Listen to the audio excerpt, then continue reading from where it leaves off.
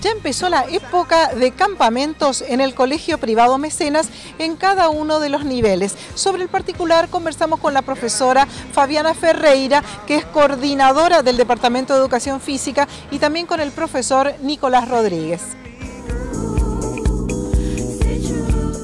Sí, realmente estamos muy contentos. Comenzamos en la institución con todo lo que es el programa educativo de los campamentos. Eh, comenzamos con cuarto, quinto y sexto grado y bueno, se nos viene un largo trayecto. ¿Y qué objetivos persiguen al realizar esto?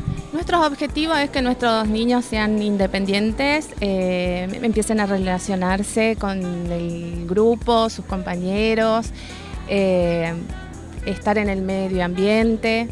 ¿Y fueron cuántos días de campamento? Nosotros nos vamos un día, eh, salimos a las 9 de la mañana y volvemos al otro día a las 9 de la mañana. ¿Cómo es el tema del fogón de la noche? ¿Cómo se arreglan?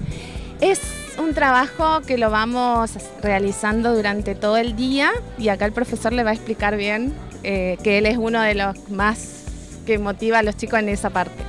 ¿Cómo es esta motivación, profe? Bien, en la parte, digamos, del fogón es la parte más emotiva del campamento, donde los chicos transmiten, digamos, a través de, sus sentimientos, eh, expresan, digamos, lo que sienten, cómo, cómo viven esta experiencia, digamos, de encontrarse solo en un lugar ajeno, digamos, que, no, que estamos fuera de casa y transmiten sus, más, más que nada sus, sus, sentimientos en esta parte del fogón. Es un momento muy emotivo que siempre solemos decir en las reuniones de padres. Es algo que lastimosamente los padres se pierden, pero es muy, muy lindo. Ustedes además tienen experiencia en este manejo de grupos, de grandes cantidades de chicos. Sí, nosotros gracias a Dios estamos capacitados, digamos, para manejar contingentes de, grandes chicos y en estas actividades, digamos, que pertenece al bloque de la vida en la naturaleza y el aire libre, donde está la parte de, de los campamentos.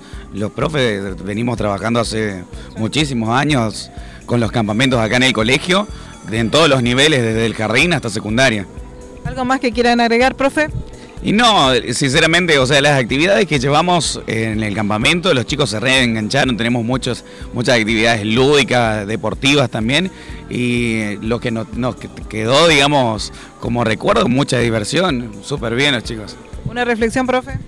Y nosotros estamos muy contentos porque, como ya dijo el profesor, hace ocho años que estamos en esto y todos los años la verdad que nos sorprenden. Todos los años nos sorprenden, aunque uno crea que es repetitivo estas actividades. Todos los años eh, tenemos nuevos talentos, eh, sacamos cantantes, actores, chicos que, por ejemplo, acá no hablan o son muy tímidos en los fogones y en los campamentos, nacen estrellas.